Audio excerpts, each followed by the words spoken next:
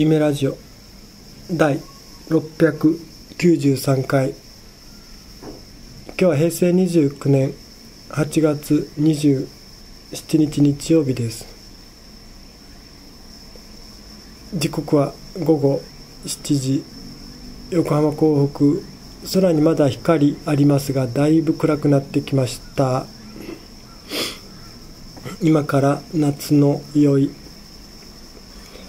開け放した窓から吹いてくる夜風はもう涼しいですね。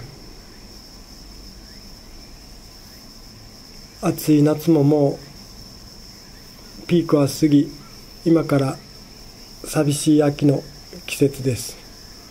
寂しいなんて言っちゃいけないですね。まあ気候穏やかな秋。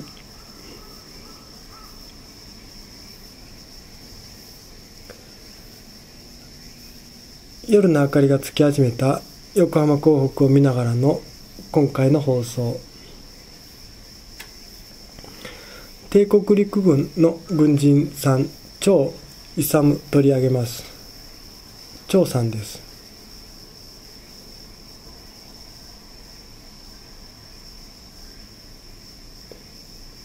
牛島満中将そして張参謀長。第32軍はこの2人がトップ務めました。沖縄です。だから張勇さんはあの沖縄の戦いを指揮したこれで、まあ、歴史に戦史にも残るでしょう。ただしその沖縄の戦いがね超参謀長の指揮が戦争指導方法が良かったかどうか今回の夢ラジオでお話しする通りです。ただし戦士には残るお人。福岡の人でね周遊館出ています。原用者には入りませんでしたが遠山満内田良平たちとは可愛がられたようですね。もう蝶から見た場合遠山も内田ももう随分大人に見えたことでしょうが。まあそんな原用者の人たちに可愛がられたようです。陸軍幼年学校を経て陸軍士官学校28期です。陸士28期ってことは石原幹事よりも7級下ですね。同期には一木清直さんいます。ガダルカナルで戦った一木さんが同期ですね。陸士28機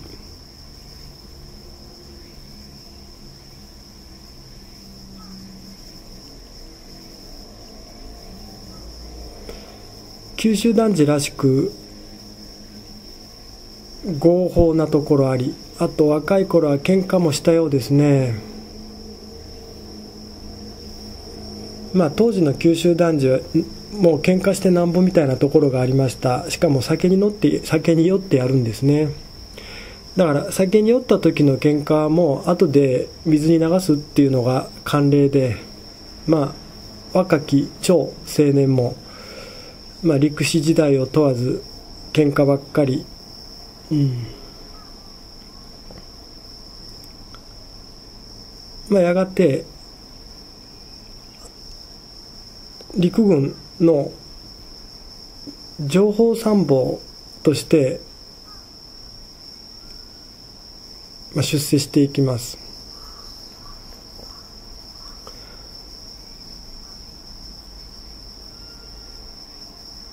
超古法事件ってあるんであったんですよ。超古法事件。これは高校日本史で習うんでしょうか。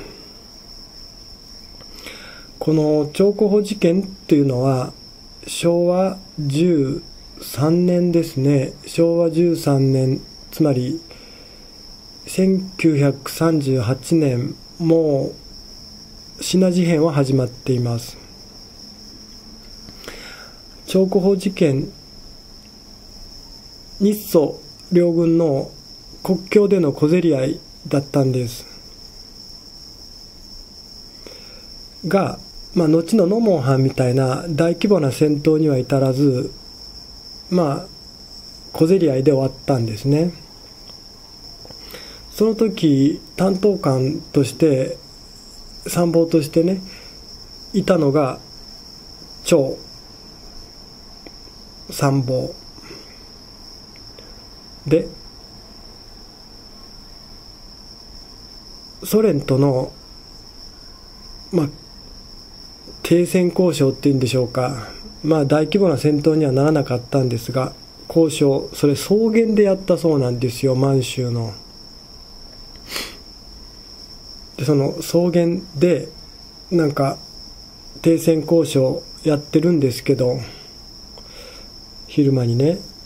だけども私は眠いんで寝ますとかって言いながらソ連の代表の前でねで水筒の日本酒グビグビっと飲んでそのまま寝てしまったというソ連の代表どうしようって思ったことでしょう。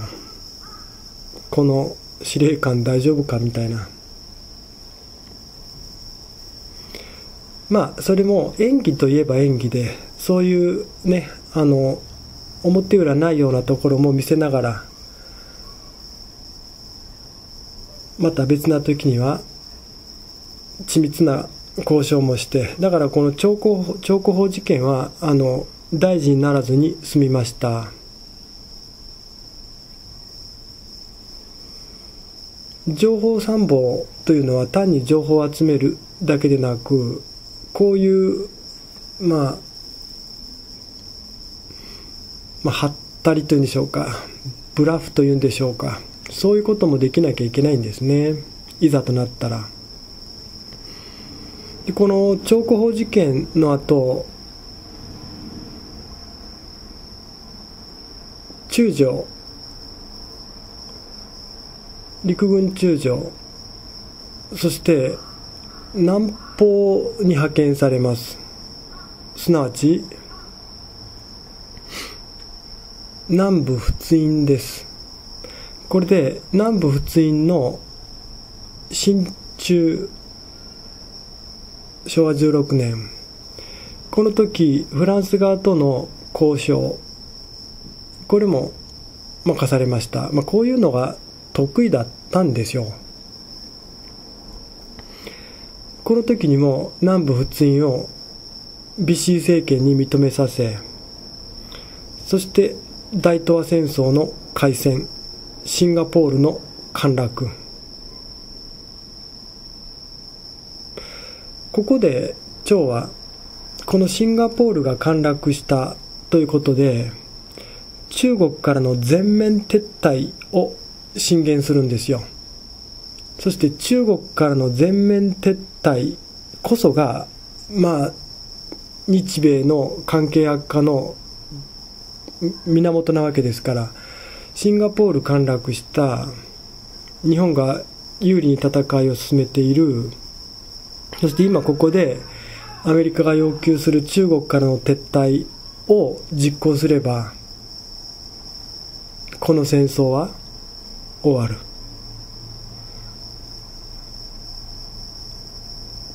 これは趙だけでなく同じ頃武藤明も言ってました。ここで和平工作だと。シンガポールが落ちた時点でアメリカとの和平工作だと。まず真珠湾は攻撃して勝った。そしてマレー攻略作戦も勝った。そしてシンガポール難攻不落と言われていたのがものすごく早く片付いた。ここで日本はアメリカとの和平工作に乗り出すべきだ。もちろんそのままでは和平になりませんから中国からの全面撤退。張勇進言武藤明も進言ところがまあ東条英機の逆鱗に触れるわけですね。この和平工作というか和平案が。ここで戦争をやめられるかと東条。ここでやめたらこれまでの英霊に申し訳ないと。蒋介石政権は潰すまでやるぞ、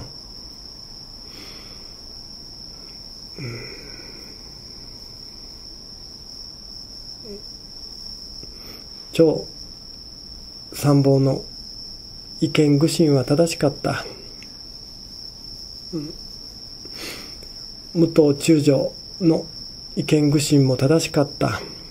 ここが東条英機の最大の罪でしょうね。シンガポール攻略の時の和平工作の案を潰した後の悲惨は東条の責任。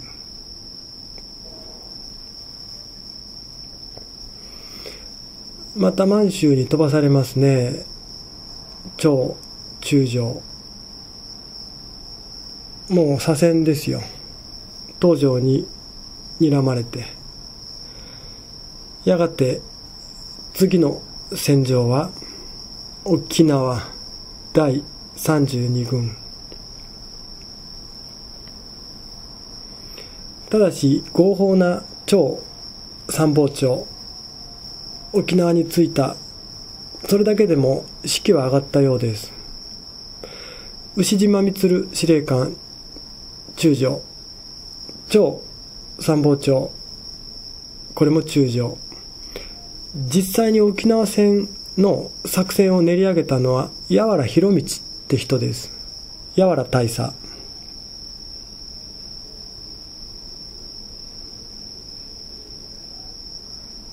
この八原大佐沖縄の三個師団を使ってできるだけ米軍をおびき寄せ内沖縄の本島の内部へ内部へとおびき寄せそして大鉄槌を食らわすっていうそんな作戦。ところが愚かな大本営沖縄にあった三個師団のうち一個師団を台湾に転出させる。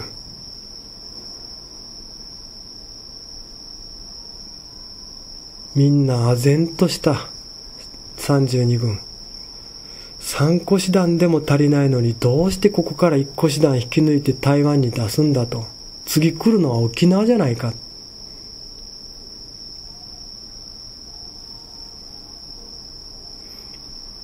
まあ後に言われる鉄血勤王隊だのね姫百合部隊だのっていうああいう若い沖縄の人も戦場に出さなきゃいけなくなったのはこの一個師団の引き抜きで足りなくなったからなんですね。もう大本営は愚かでした。昭和20年何もかも。二個師団で。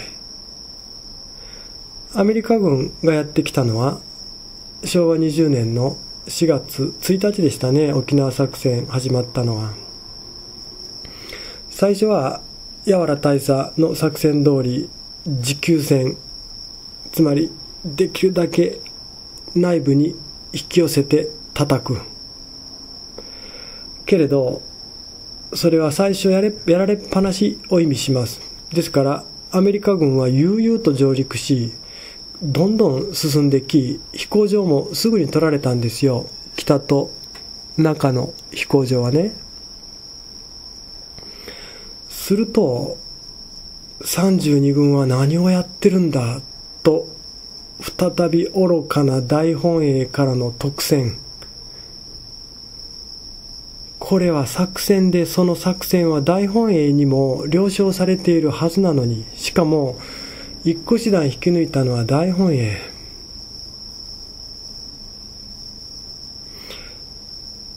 ただしその特選を受けてね九州団地の超参謀長黙ってらんないんですよ。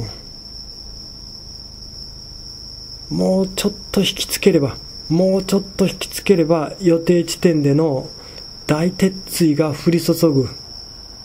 けれど超参謀長待てなかった。特選を受けて攻勢に出るぞ。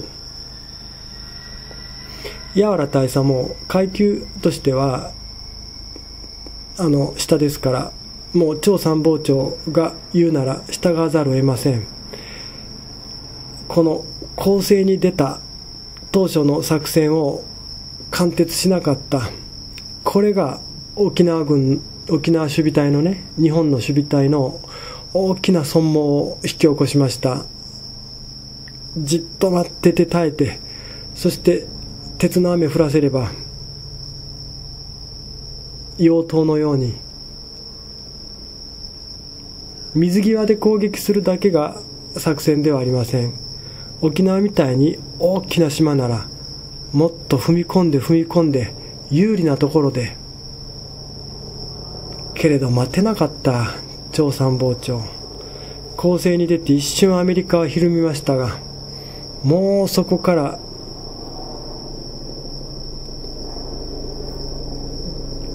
逆に攻め込まれたら日本軍後がありませんでした。じりじり島の南へと追いやられ6月の末ですね。牛島満中将と張参謀長は自決。柔原大佐はあの選挙報告のために生き残りを言われたんですよ。2人から。結局牛島司令官はもううんうんとうなずくだけであの実質的には柔原大佐が沖縄戦取り仕切りけれど途中から張参謀長が黙ってらんなくなって作戦が狂った。柔原大佐は民間人のふりして生き残りました。柔原大佐は後に参考師団があのまま引きあのまま存続できていたらそして自分が立てた持久戦の作戦通りに行っていたら沖縄戦は8月までも持っただろうし8月15日終戦ならその時まで沖縄は負けなかった。こうも言ってますね。後に。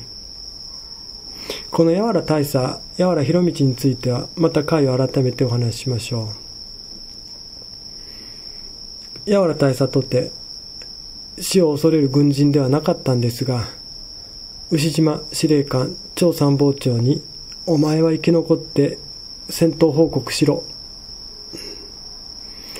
この2人の牛島さんと張さんの自決に柔原さん立ち会ってるようですね。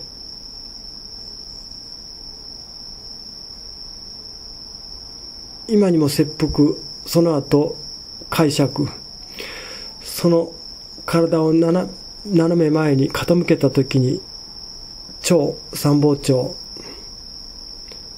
くるっと振り返って「やわら」高額のために俺の死に様を見ておけ。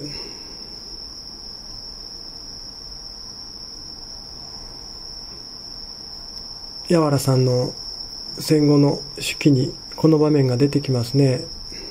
まさか作り話も言わないでしょう。超勇中将